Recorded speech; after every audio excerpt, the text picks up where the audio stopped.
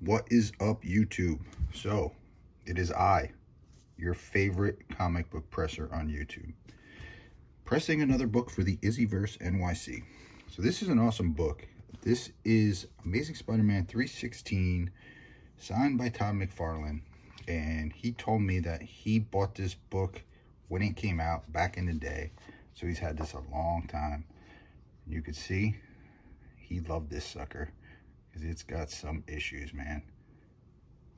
You know, you got some, I don't know what that is. You got some staining here. You got this fold on the bottom. Back cover looks pretty rough, staining wise. Corners got some blunt corners.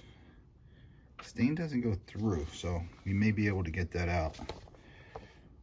Um, you know, probably mid-grade book, you know, 5.0, maybe get it to 6.0, 5.5, but there's a lot of ticks in this sucker.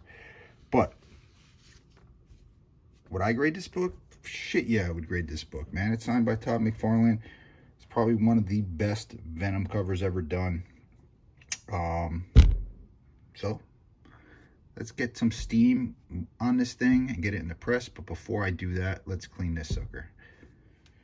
All right, so what do I have to try to clean this? Obviously, I have Absorbent sponges, nice fresh new ones. I cut these into cubes uh, so I don't ruin the whole thing.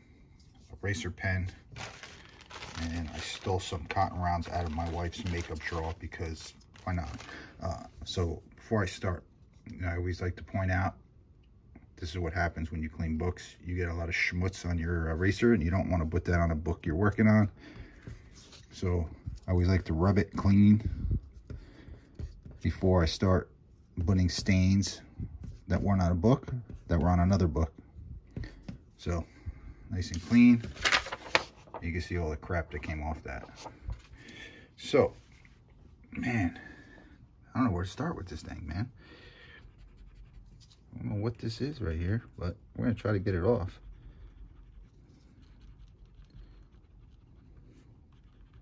Looks like it's coming off. So that's a good sign.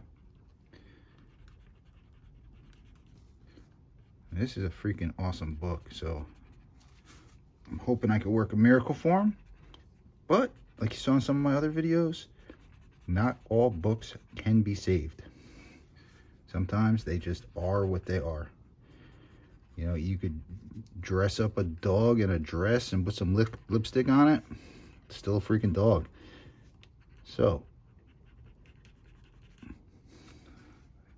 Like I said, you can see the stain in it. It's not through the cover, um, but it's it's a stain.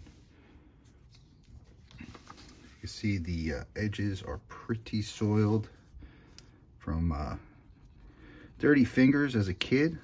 You know, when we were young, we didn't think we would be submitting these to be uh, put in a piece of plastic.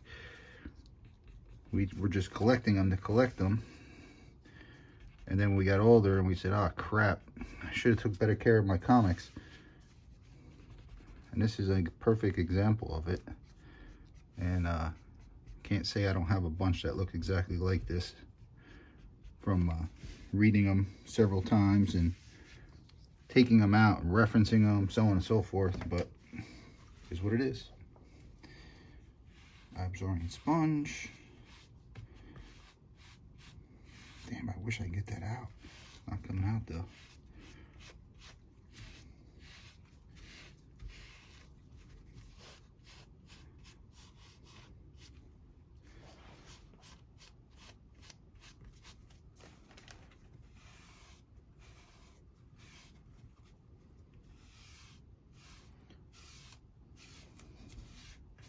Try to whiten this dude's teeth a little bit. There you go, dude. Look at that, man. Who needs whitening gel? You got a freaking Absorbent sponge.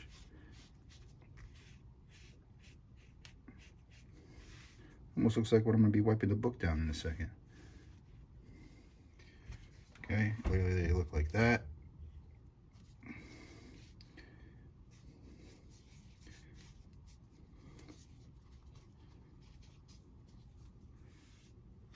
Man, that one stubborn stain right there.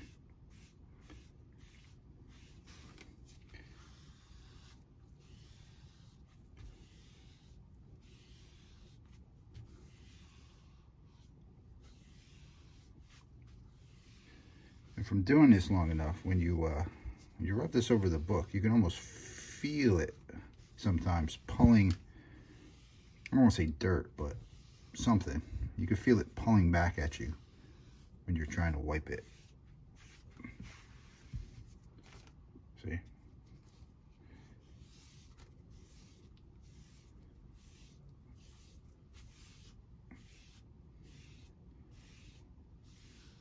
So it is cleaner, but this right here, I don't even know if uh, double hopping that sucker would take that out. And then obviously the cover, I'm gonna do this very gently and not mess around near the signature because I do not want to mess that up. Nice new one.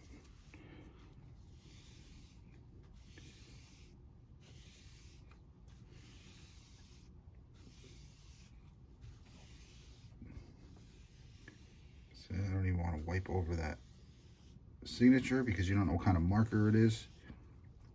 Looks like it's a paint marker, but not taking a chance. All I want to do is wipe it and, oh, it's not signed anymore. You get the idea.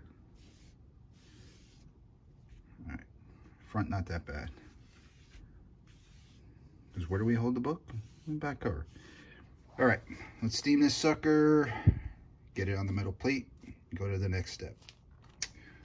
Okay, so I already put the backer board at the center fold. Look at that artwork. And I thought there was a better page. I think I'm thinking of 299 where they show uh, Venom right in the beginning of the book. but 299 is a cameo, not the first appearance. But anyway, um, oh duh, this isn't 300. Never mind. Um, getting confused with my books here. So, steamer going.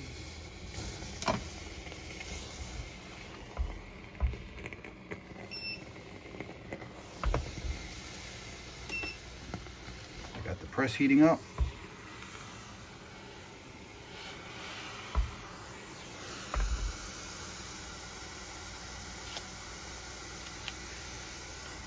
I always like to do the outside and then obviously the inside.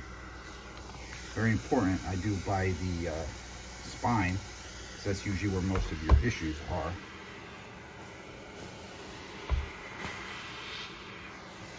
See that color that crease on the bottom there? All those ticks. Those ticks are not fixable. Shut this sucker off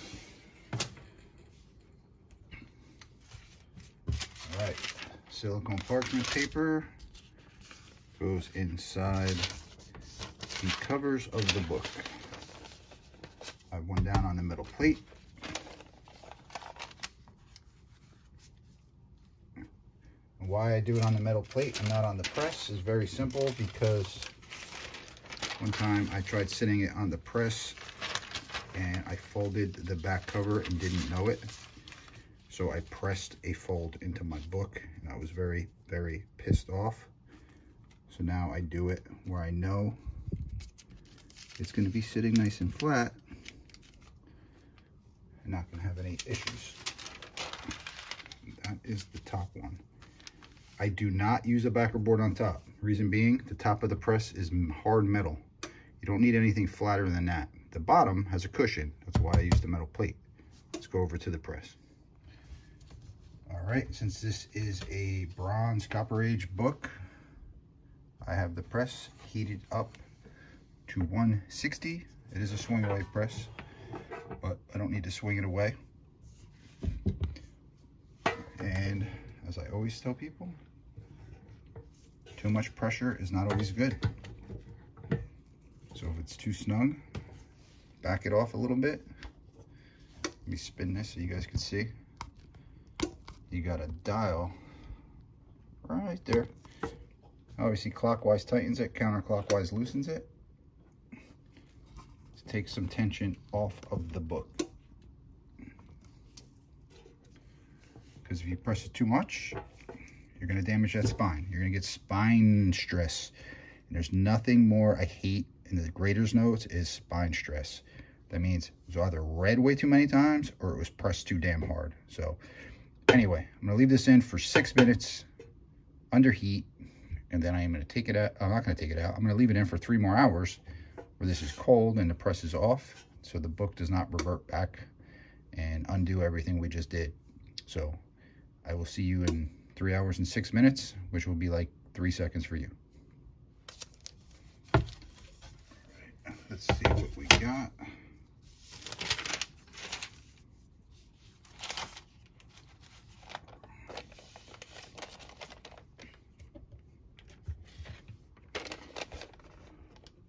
Front cover looks pretty nice.